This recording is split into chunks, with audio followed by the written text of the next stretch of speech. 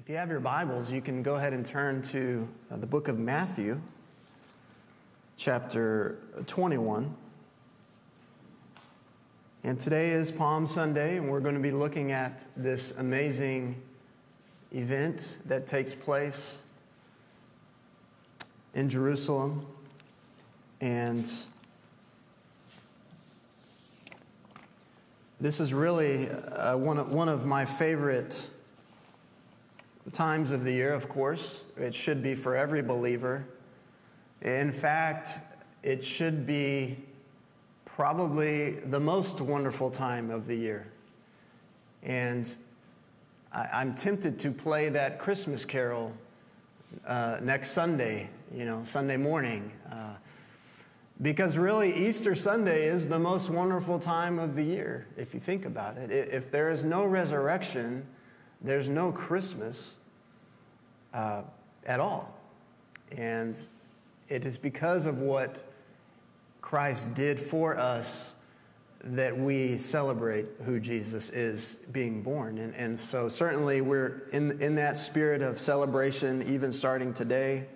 Um, of course, the events leading up to the resurrection uh, are not necessarily fun to think about. They're not uh, enjoyable to think about at times when we look at the crucifixion and really this week leading up to the crucifixion uh, is not a fun time for Jesus. It's not a fun time for his disciples. It's not a fun time for anyone outside uh, who, who are beginning to uh, believe in Jesus. In fact, it's a very trying time, it's a very desperate time. This is probably one of the uh, most um, hostile times to begin to put your faith in Jesus. And we even see that we're not going to look at it today, but leading up to Jesus being crucified, we even see that one of his closest friends even denies him to just local strangers for that gripping fear that's associated with being a follower of Jesus. And it's because of the, the circumstances surrounding Jesus' death and then Jesus' death on the cross that this can be kind of a, a somber week for us. But it's that victory that Jesus has over death. That victory that when he rises on the third day and ascends into heaven and conquers death, and promises eternal life to those who put their faith in him. This is what we celebrate. This is why Easter, Resurrection Sunday, Resurrection Week is why it's the most wonderful time of the year. Amen? And so today we're going to be looking at this account where Jesus rides into Jerusalem. This is known as the triumphal entry. If you look at any book, any gospel in your Bible, uh, Matthew, Mark, Luke, or John, you will find the triumphal entry. You will find that header, the triumphal entry. And this is one of uh, this is an event that is very significant, of course, but there's, there are 11 events. This is one of 11 events that are in all four Gospels that are recorded in all four Gospels, one of the 11. And so we can look at each one, each Gospel, from different authors, and we can look at the account of the triumphal entry. And of course, what preceded the triumphal entry was Jesus triumphing over physical death. We looked at that last week. Who did Jesus raise from the dead? Lazarus, right? He called out to the grave. He commanded that dead body to rise up. Death had no authority at that moment over Jesus Christ. Jesus called out with a loud voice, Lazarus, come out. Lazarus rose from the dead, and this was uh, the final messianic sign of Jesus that he would perform in the Gospels leading up to his riding into Jerusalem, leading up to his crucifixion. And this event sparked new belief in many who were witness to this event, but also those who had heard of this event.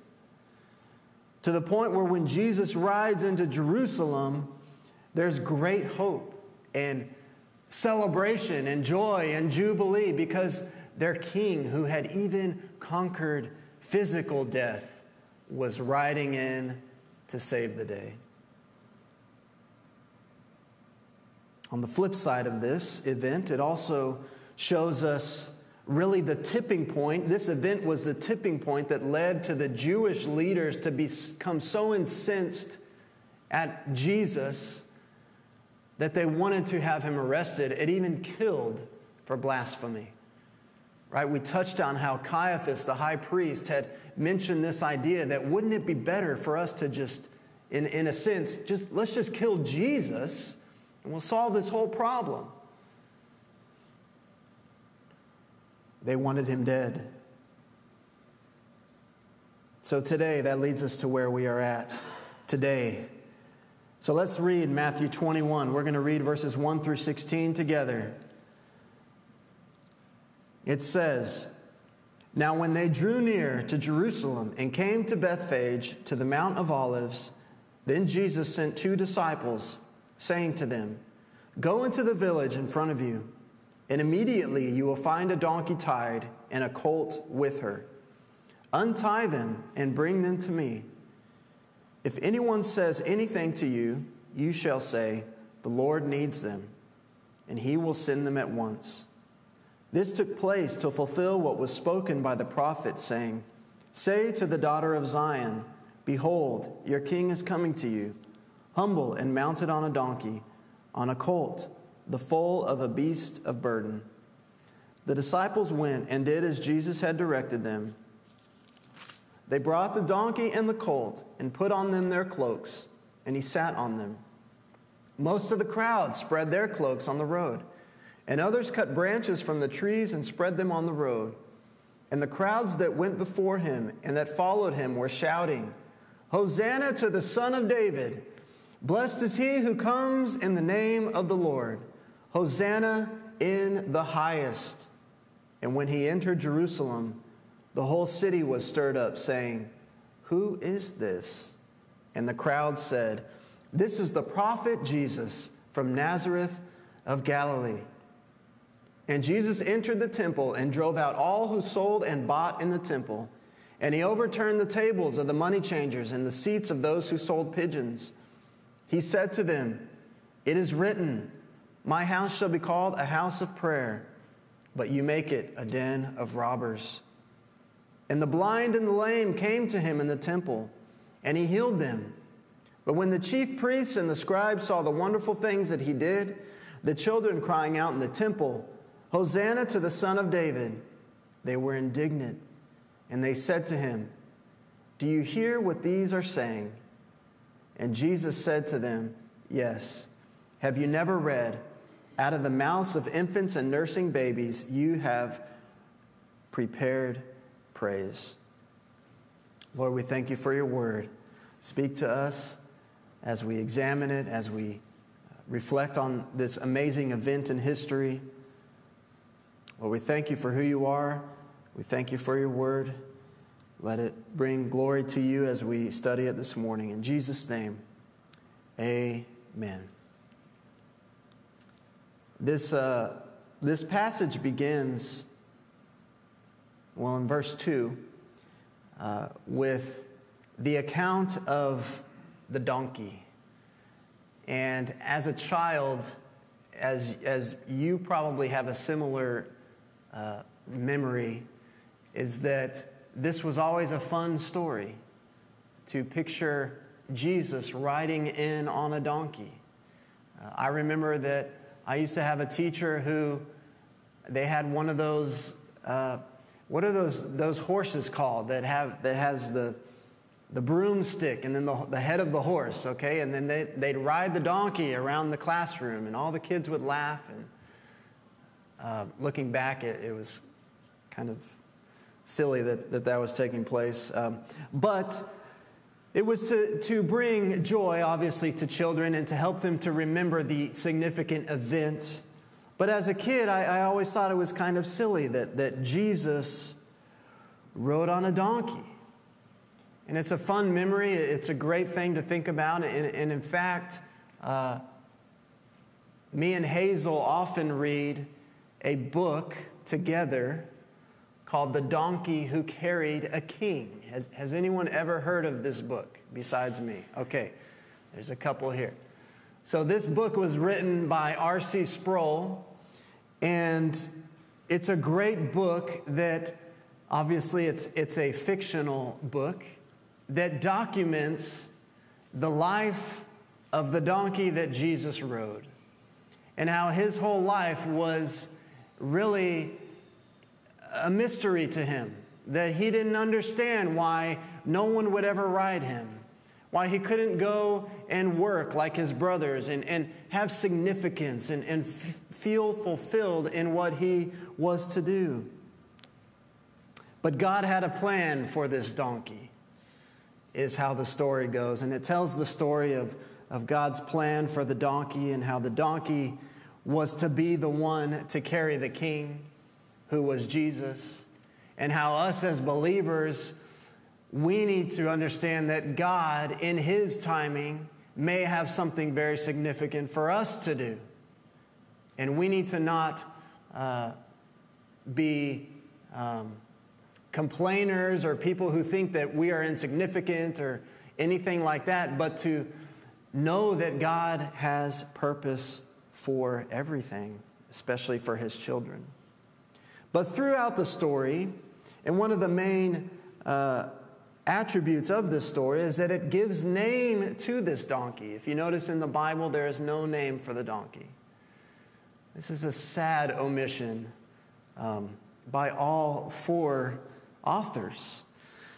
I believe this donkey probably had a name, and so this book makes it easy for us. And so in the Bell family, the donkey's name is Anybody? Davy. Davy the donkey. And so, Davy the donkey uh, is what we call this donkey. Anyway, um, this is Hazel's favorite book, and she often talks about Davy the donkey. And, and in fact, it gives another detail in that book. It gives the name of, of Mary's donkey as she rode pregnant uh, into Bethlehem, and, and that donkey's name was Barnabas. Okay, so a little fictional Bible history for you there today. Um, the reason I bring up this story, uh, there's really not a good reason, but I just wanted to share it with you today. But behind this cute story of Davy the donkey and the donkey in general lies great significance in the historicity of this donkey. Okay, there's great significance for Jesus riding into Jerusalem on a donkey. And that is that this was prophesied by the prophet Zechariah over 500 years before Christ. Over 500 years, it was prophesied by the prophet Zechariah. And I'd like to read that verse real quick. It's in Zechariah 9 9. And it says, Rejoice greatly, O daughter of Zion. Shout aloud, O daughter of Jerusalem. Behold, your king is coming to you, righteous, and having salvation is he, humble and mounted on a donkey, on a colt, the foal of a donkey. This is just one more reason to believe that Jesus was the Messiah. This is just one prophecy out of many, out of over 200 prophecies of Jesus. And this shows us that Jesus was the prophesied Messiah. That this event in Zechariah, this prophecy, was being fulfilled by Jesus.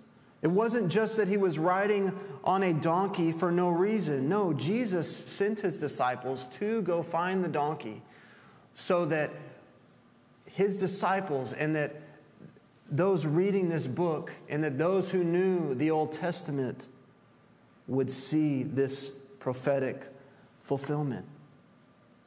Additionally, we see that the crowd's response to Jesus riding in on the donkey, it shows that they believed that he was the Messiah. And I believe this uh, display of Jesus riding in on the donkey bolstered that belief that he was the promise by God through the Old Testament prophets. I want to point something out regarding the coats. It says here in verse, uh, it says here in verse, um, where are we at? Six, eight? Verse 8 Most of the crowd spread their cloaks on the road, and others cut branches from the trees. So we see that the crowd was spreading their cloaks on the road. Well, what does this mean? Well, if we look at 2 Kings uh, chapter 9 really quick, flip back to 2 Kings chapter 9. We see an example of something similar. And this is when uh, Jehu was anointed king by one of the prophets sent by the prophet Elisha. So in 2 Kings chapter 9, we pick up in verse 4. It says, So the young man, the servant of the prophet, went to Ramoth Gilead. And when he came, behold, the commanders of the army were in council. And he said, I have a word for you, O commander. And Jehu said, To which of us all? And he said, To you, O commander. So he arose and went into the house. And the young man poured oil on his head, saying to him, Thus says the Lord, the God of Israel, I anoint you king over the people of the Lord, over Israel. And then verses 7 through 10 goes on to describe the judgment God is going to pour out on Ahab and Jezebel, who were evil, as you know. In verse 11, it says, When Jehu came out of the servants of his master, came out to the servants of his master, they said to him, Is all well? Why did this mad fellow come to you? And he said to them, You know the fellow and his talk. And they said, That is not true. Tell us now. And he said, Thus and so he spoke to me, saying, Thus says the Lord, I anoint you king over Israel. Then in haste, every man of them took his garment and put it under him on the bare steps. And they blew the trumpet and proclaimed, Jehu is king. This laying the cloaks down as Jesus rode into Jerusalem was symbolic of kingship. They were no doubt acknowledging that Jesus was their king. This was a celebration, a grand celebration.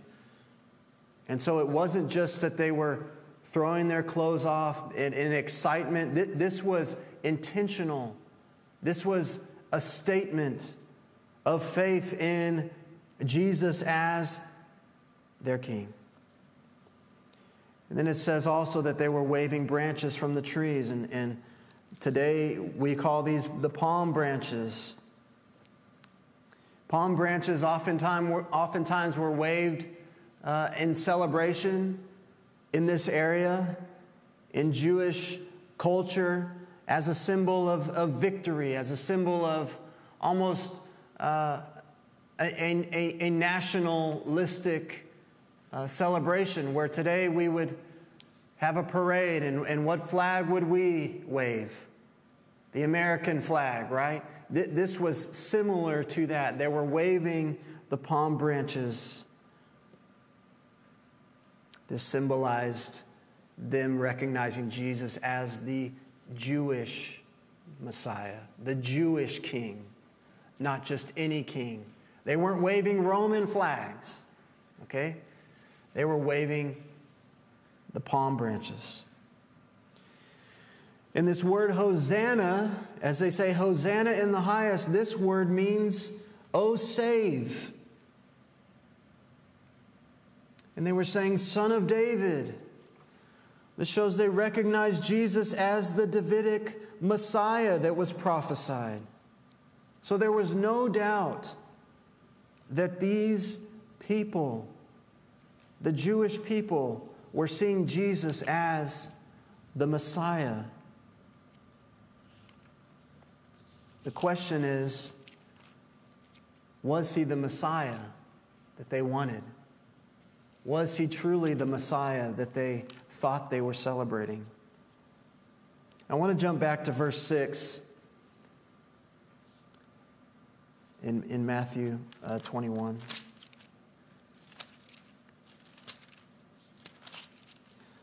I bring this up only because my kids ask me this question. Because in this account of the triumphal entry, there are some details that are omitted, and one of those uh, we're going to go over right now. In verse number six, it says, The disciples went and did as Jesus had directed them, right? Jesus had directed them to go and untie the donkey and to bring it to him, and that if anyone asks about it, why they were taking it, to say, Well, our Lord has need of it. Well, in this passage, it just says the disciples went and did as Jesus had directed them. So, of course, the obvious question that my children ask me is Dad, did Jesus steal a donkey? And it sounds silly. It is kind of silly, but it really has significance because had Jesus stolen a donkey, what are one of the Ten Commandments? Thou shalt not steal. Had Jesus stolen a donkey, Jesus would have sinned. And had Jesus sinned, he would not have been the spotless lamb. Now, this detail seems silly, but it reminds us just of how perfect of a life Jesus lived. His whole entire life. Jesus was the only human who was able to live a sinless life. Not only was he able to do it, but he had to do it. He had to live a sinless life because he had to be the spotless sacrifice whose blood was perfect because he was spotless. As, as Jay was mentioning as we were taking our commun- communion, that there always had to be a sacrifice. There always had to be a blood sacrifice, and Jesus had to be a perfect, spotless sacrifice. So, did Jesus steal a donkey? Was he a sinner after all? Of course, the question is no, Jesus was not a sinner. If we look at Mark 11, this is the same account, the triumphal entry in verse 4. It says, They went away and found a colt tied at a door outside in the street, and they untied it. And some of those standing there said to them, What are you doing untying the colt? And they told them what Jesus had said, and they let them go. Okay, so Jesus did not steal a donkey. Phew. Okay, Jesus had permission. This was the fulfillment of the prophet Zechariah and all is well. Jesus was perfect. Let's move along to verse 12 of chapter 21. Jesus does something very interesting here upon entering Jerusalem. The crowds are celebrating, they're welcoming their king. Hosanna to the Son of David. Blessed is he who comes in the name of the Lord. Hosanna in the highest. when it says in verse 10, when he entered Jerusalem, the whole city was stirred up, saying, Who is this? So there was quite a commotion here, a lot of attention on Jesus at this time. I mean, just think, just think of the crowds, think of the commotion, think of just the buzz that was in Jerusalem as Jesus enters. And what does Jesus do? The very first thing that Jesus does upon entering Jerusalem. We see in verse 12. And Jesus entered the temple. He enters the temple and drove out all who sold and bought in the temple. And he overturned the tables of the money changers and the seats of those who sold pigeons. Now, for us today,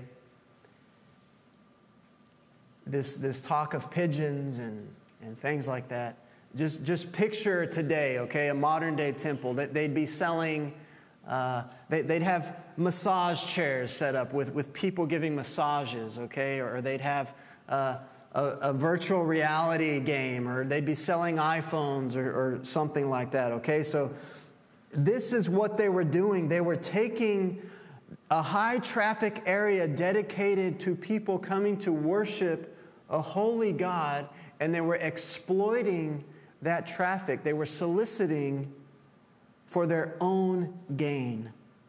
In essence, making themselves just as important, if not more important, than a holy God. And this was Jesus' house. Jesus, upon entering Jerusalem, being called the Messiah, signifies his authority as the Messiah by making his first stop the temple. He doesn't go to Pilate, right? He doesn't try to establish his reign in Pilate's quarters. He doesn't go to Pilate and say, Get out of here. I- am sleeping here tonight. No, he goes to the temple and begins to exercise his authority as the Jewish king, as the Messiah over those who are making a mockery of the house of God. And in verse 13, he says with authority, It is written. Right? So here he's quoting scripture.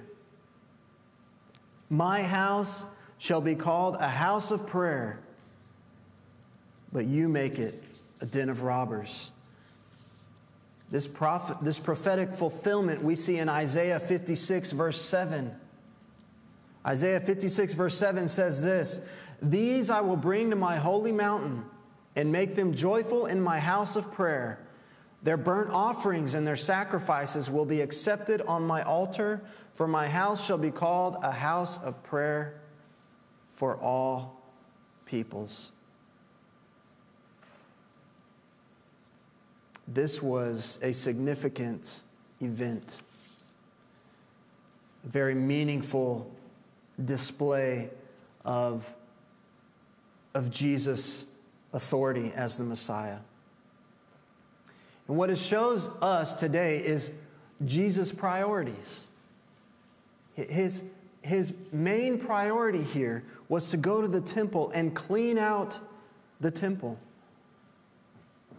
This was not the first time he did this. In fact, you might have been thinking as, as we read this account of Jesus cleansing the temple, you might have been thinking back to at the beginning of my message where I said that the triumphal entry was one of the 11 events in all four gospels. And if you were if you just had to have happened to memorize all 11, you would have been maybe thinking, wait a second. Isn't Jesus cleansing the temple in all four gospels? And I will have to say, yes, it is. But the account in John is a different cleansing than the account in Matthew, Mark, and Luke. The account in John was at the beginning of Jesus' public ministry. So, at the very beginning of Jesus' public ministry, What's the first thing that Jesus does? He goes and cleanses the temple. He casts out those who are making a mockery of prayer, making a mockery of worship, trying to sell things in the market square. Eh, eh, they're making a market square out of the place where the Gentiles could go and pray, defaming the name of God, defaming his house of worship. And so the symbolism here is that the beginning of Jesus' public ministry, he goes into the temple, and here we see upon arriving in Jerusalem at the end of his public ministry, the final time that he would arrive in Jerusalem before his crucifixion, the first thing he does is go into the temple and cleanse it again. One thing that this shows us is that Jesus, having to do it again, shows the depravity and sinfulness of man.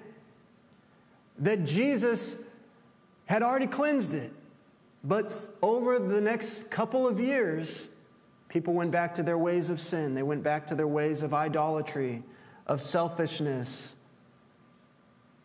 of irreverence for the house of God. And this shows us the need of a Savior, the need of a better way. And Jesus, upon entering the temple, temple and cleansing it one final time, shows us his priority and, and his, his view of the house of God. And it shows us how we are to view the house of God how we are to view this place. That as we gather together, that we are reverent before God. That as we worship the King of Kings, that our hearts are humbled before a holy God. And we see that He is the Messiah, but that He's not the Messiah that they wanted Him to be. We see as a result of what Jesus is doing here and, and in the coming passages that the crowds begin to turn on Jesus. Some of the same voices that we're, we're looking at today that are saying, Hosanna, Hosanna, are the same voices that will say this Friday, Crucify him, crucify him.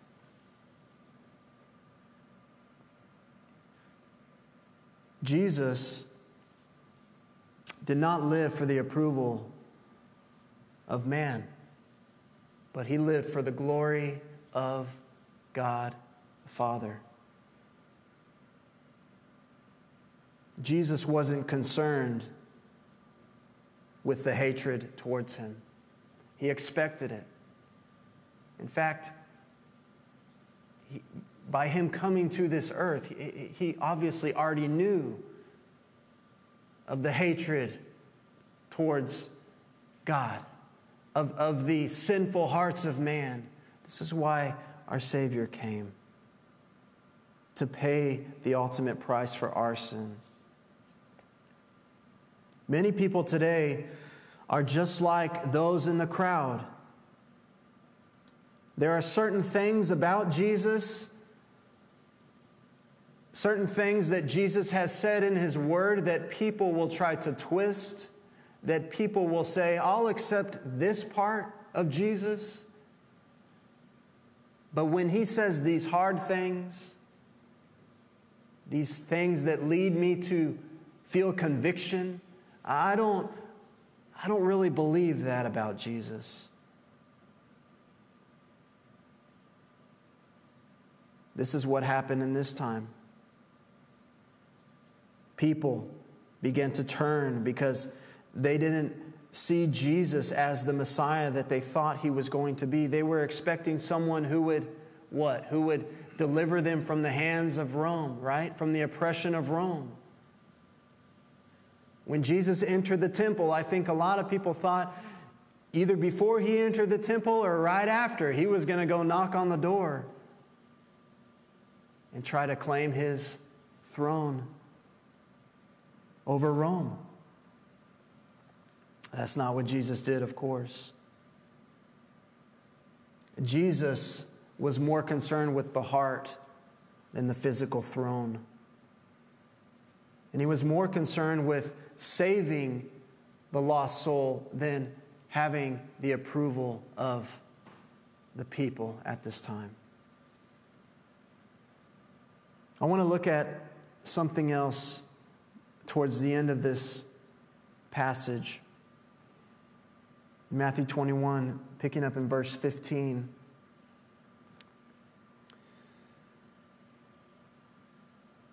Actually, it starts in 14. It says, And the blind and the lame came to him in the temple, and he healed them. But when the chief priests and the scribes saw the wonderful things that he did, and the children crying in the temple, Hosanna to the Son of David, they were indignant. Now, it's one thing to be indignant at children shouting, Hosanna, Hosanna. I mean, I can't picture a more beautiful sight, right? I mean, to see my children praising the Lord is one of the most valuable treasures that I could ever possess. But they were so enraged at Jesus that the sight of these children crying out in the temple, Hosanna to the Son of David. I, just can't believe that. It's, it's just shows the, the blindness that they had towards Jesus. But not only that, they had seen Jesus healing people in the temple. He entered the temple. The blind and the lame came to him, and he healed them. And the chief priests saw what he had done, and they were indignant. And they even had the audacity to say out loud, Do you hear what these are saying? Ridiculing the children for seeing this man perform a miracle, healing a blind man, and praising him for doing that. Jesus has a response to them. He says, Have you never read, out of the mouths of infants and nursing babies, you have prepared praise? This, this reflects the sentiment that Jesus shares with us in another account where he's talking about the faith of a child and how us as adults sometimes get stuck in our own pride and our own experiences because we know better and we've seen this before and it's happened many times that we tend to lack trust in Christ. We tend to lack the faith to get through something through Jesus. And here we see just a flat out rebellion in the hearts of the Jewish leaders against Jesus. It stemmed from their pride. Think of the power that they had in society, the comfort they had, the praise that they received before Jesus arriving on the scene. If you were a Pharisee, you were the guy. You, you, were, you were the top dog. You were the top religious leader, and everybody who wanted to follow the law looked to you as their source of wisdom, as their source of uh, encouragement in the law. You were of high stature. They did not want to lose that. Sometimes in our lives, we can become full of pride or afraid to lose certain things that we are unwilling to give them to the Lord. We are unwilling to sacrifice things to the Lord in worship because of our pride. This is what is happening here.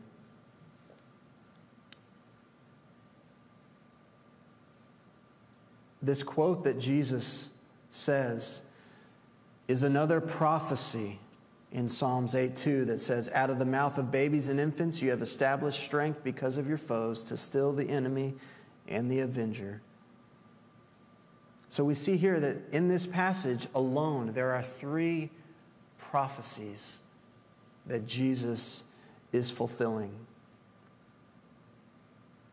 And what Jesus does here in the temple makes it very evident that he is acting with supernatural authority. There, there is only so much that you can deny. He's healed Lazarus. He's healed the blind man. He's healed the lame man. And here in the temple, people who have seen these miracles, there are people coming into the temple to receive their healing. Because why? Because they already know that Jesus has been doing these miracles. And Jesus continues to heal. There's no denying the power of Jesus. And so at this point, there's only one solution for the Jewish leaders, and that is to have Jesus arrested. And if it be so, have him killed for the sake of their own pride and power. And so, as we look past the triumphal entry, we look ahead to the crucifixion we might have a tendency to think that for a moment, Jesus was defeated. For a moment, the, the church hung in the balance. That, that at times it can look like Jesus failed or was failing. Because how can we look at the cross and, and see our Lord and Savior hanging there, helpless, being beaten, being humiliated. How is that victorious? There might be times in our lives, or there might be seasons of victory within the church that might look like defeat. When you look around the world, there are areas uh, all, over the, all over the world today. There are, there are people who do not have it like we do here, who are physically persecuted for their faith. You have children in other parts of the world whose parents are killed in front of their very eyes for professing the name of Christ. On the outside, this looks like defeat. Yet, you read reports of the church advancing, the kingdom advancing, hearts being transformed, people's lives being changed, people professing Christ. That's victory. That's the kingdom of God advancing. That is the power of God going forth through the, through the speaking of the gospel to change the hearts and minds of those who, prior to turning to Christ, would have eternity in hell, but now have victory through Christ. And so, as we look at the cross, it's an example to us that sometimes victory doesn't always look like victory. But yet, we know through the cross, we know that God's plan was being fulfilled. We know that God's victorious plan was being accomplished through Jesus going to the cross. If Jesus does not suffer on the cross, there is no victory over sin. Jesus has to suffer. This is God advancing his victorious plan through history. I want to encourage you today Jesus is victorious today. Jesus is victorious right now. Jesus wants to use us to advance his kingdom today. I want to read you just a few verses that talk about the reign of Christ today. I want to encourage you with these. Let, let these encourage you as we read these in closing. Ephesians 1:21 says far above all rule and authority and power and dominion and every name that is named not only in this age but also in the one to come. Jesus has all rule and authority today. Matthew 11, 27 says, All things have been handed over to me, this is Jesus, to me by my Father, and no one knows the Son except the Father, nor does anyone know the Father except the, the Son, and anyone to whom the Son wills to reveal him. All things have been handed over to me by my Father. Jesus has all things in his hand today. Philippians 2 8 and 9 says, And being found in human form, he humbled himself by becoming obedient to the point of death, even death on a cross. For this reason also God highly exalted him and bestowed on him the name which is above every name. This is a perfect picture of what I just described that Jesus hanging on the cross was a sign of victory. We see that Jesus rewards him for that event. Right? It says, being obedient to the point of death, even the death on a cross, for this reason God exalted him and gave him the name above every name. This was a victorious act by our Savior to conquer sin. Even though it looked like pain, and it was painful, excruciating pain. The, the word excruciating comes from uh, the, the, the, the description of an actual crucifixion. Jesus felt pain, but it was victorious as he took our sin upon himself. Colossians 2:10 says, "In him you have been made complete, and he is the head over all rule and authority." Listen, if you are in Christ today, if Jesus is your savior, you are complete. You have been made new, a new creation. You have been freed from your sin. You can walk in victory today. And as we walk in victory, we gain ground for Jesus Christ here today. We advance the kingdom of Christ today. It's advancing all over the world today. 1 Peter 3:22 says, who is at the right hand of God? This is talking about Jesus, who is at the right hand of God, having gone into heaven after angels and authorities and powers had, had been subjected to him. Angels and authorities and powers had been subjected to him, past tense. Jesus has authority over the enemy. We need to talk like that. We need to act like that. We need to pray like that that Jesus has authority, that He's given uh, us the ability to pray in faith His authority. We could speak His authority over our lives, over our family, over our city through prayer. John 3:35 we read this through our series in John. The Father loves the Son and has given all things into his hand. Two more. Philippians 2:10 so that at the name of Jesus every knee will bow of those who are in heaven and on earth and under the earth. And then my favorite, Matthew 28, the Great Commission, verse 18. Jesus came up and spoke to them, saying, All authority has been given to me in heaven and on earth. Go, therefore, and make disciples of all the nations, baptizing them in the name of the Father and the Son and the Holy Spirit, teaching them to observe all that I commanded you. And lo, I am with you always, even to the end of the age. Jesus has all victory today. Us, as His children, have victory over sin. And we are commissioned to go.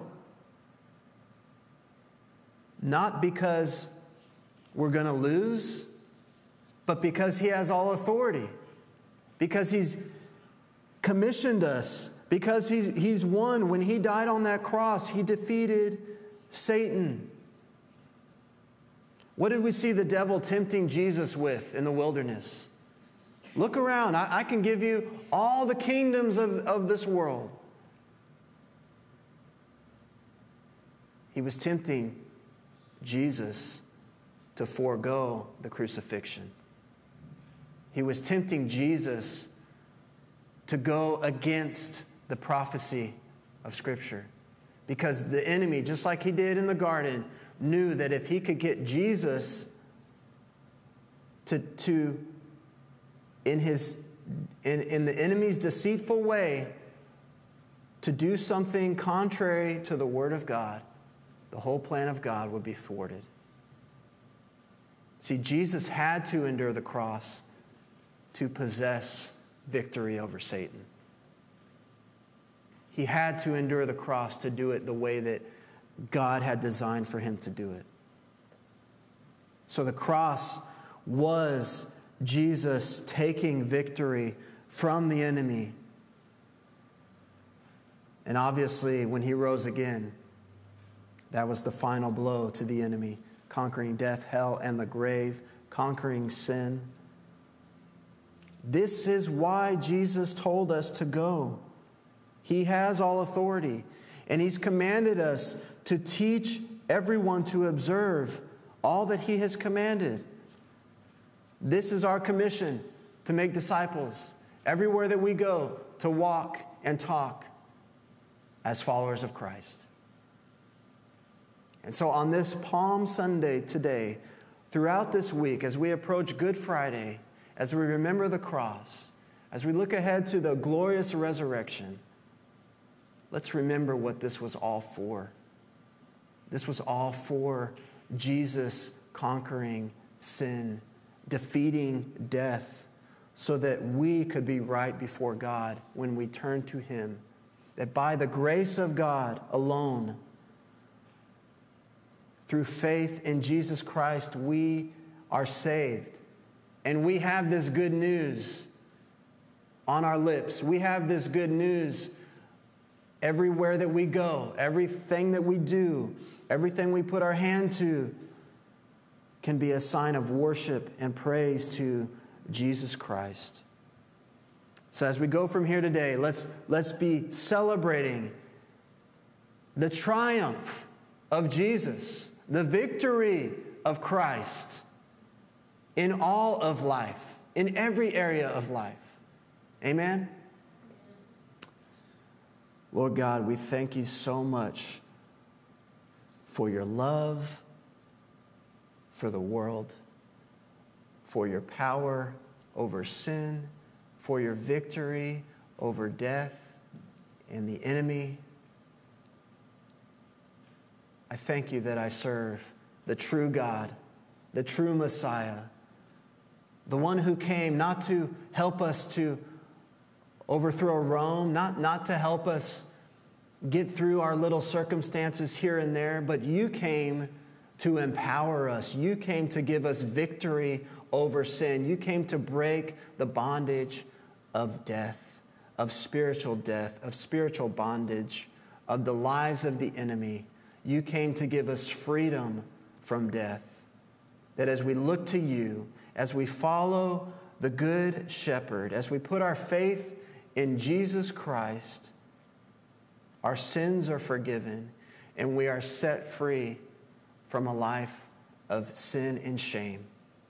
And we are made new. We are born again into newness of life to be men and women who follow you, who obey your word, who love to obey your word and help us to be carriers of that good, precious gospel.